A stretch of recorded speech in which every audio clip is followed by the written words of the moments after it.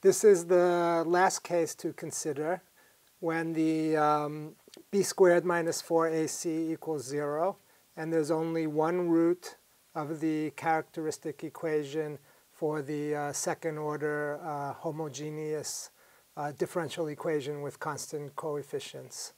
So um, what is the problem here? We only have one root, so we only have one solution, e to the rt. But in order to satisfy the two initial conditions, we need two solutions. So we're missing one solution. Why are we missing one solution? Because the uh, ansatz is constraining the form of the solution to be e to the rt, and the second solution is not of that form, so we can't find it. So how are we going to find this uh, missing second solution?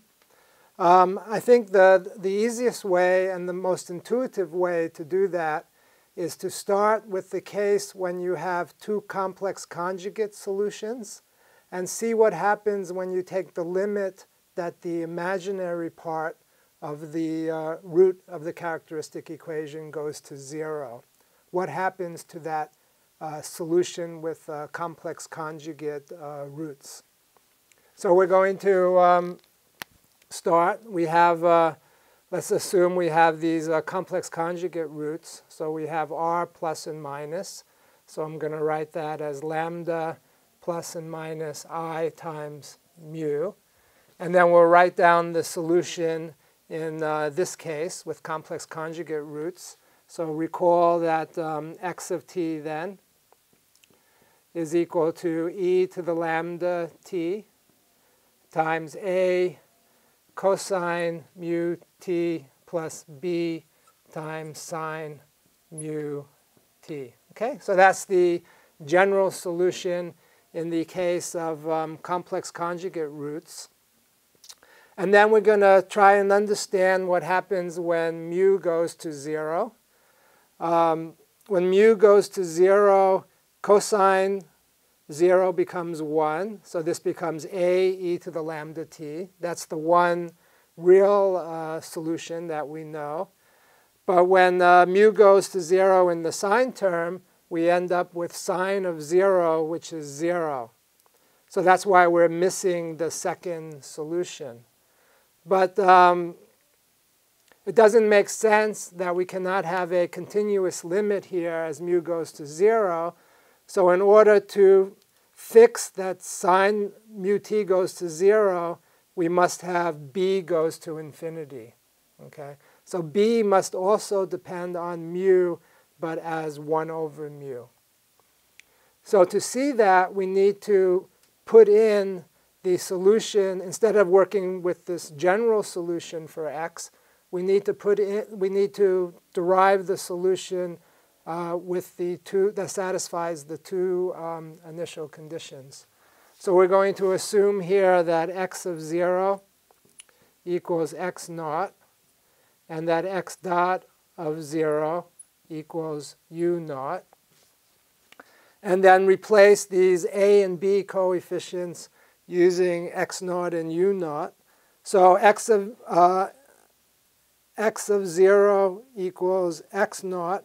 Put in 0, and then we get e to the 0 is 1, sine 0 is 0. So immediately we get a then is equal to x naught. Uh, x dot of 0 equals u naught. We need to differentiate. So let me see if I can do this. Uh, the derivative of the first uh, term with respect to t will give us a lambda e to the lambda t. And then, uh, so it's the derivative of the first times the second. We put in 0 here, we get a. So we'll end up with lambda a. Uh, plus the first times the derivative of the second. So e to the 0 will be 1 the derivative of the second, the cosine will become a sine, that will go to 0. And then the sine will become a cosine, that will go to 1, but we'll pop out a mu b. So we'll end up plus mu b, and that's equal to u naught. So x dot of 0 is equal to u naught. uh, a is equal to x naught. So we can solve this for b. So b is equal to um, u naught minus lambda x naught divided by mu. Okay? So we got our a and b. So let me write down then uh, our solution for x. So we end up with uh, x of t equals e to the lambda t times a, which is x naught, x naught cosine mu t, plus b times sine mu t. So plus mu, uh, u naught minus lambda x naught divided by mu times sine mu t. Okay? That's the um, solution in the case of uh, two complex conjugate roots of the characteristic equation, where x of 0 equals x naught and x dot of 0 equals u naught. But our interest he here is what is the limit of this as mu goes to 0. So what we want is the limit as mu goes to 0 of our x of t. And here, x, right, is a function of time, but you can also view it as a function of mu. Mu is just the um, imaginary part of the uh, root of the characteristic equation. So we'll say this is also a function of mu. Okay? So what is this equal to? Um, this is equal to e to the lambda t, right? When mu goes to 0, cosine goes to 1. So it's x naught. And then it's uh, plus u naught minus lambda x naught. But then we have a limit as mu goes to 0 of sine mu t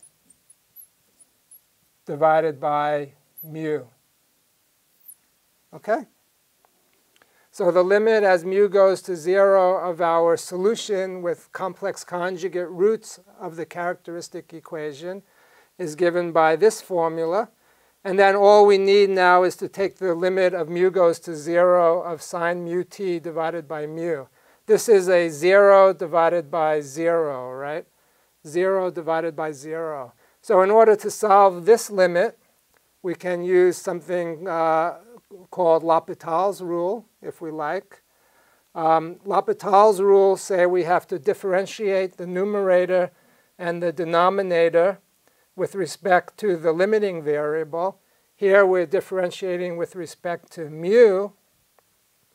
So if we differentiate the denominator with respect to mu, we just get 1 if we differentiate the numerator with respect to mu using the chain rule, we'll get t times cosine mu t.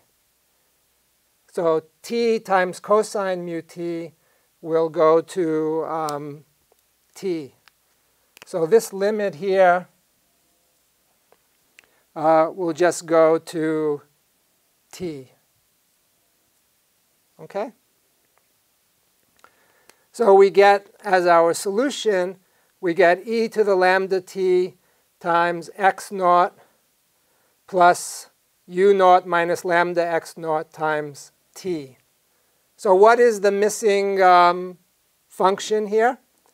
The x naught e to the lambda t is the constant times e to the lambda t. Lambda is just our r, our root to the characteristic equation.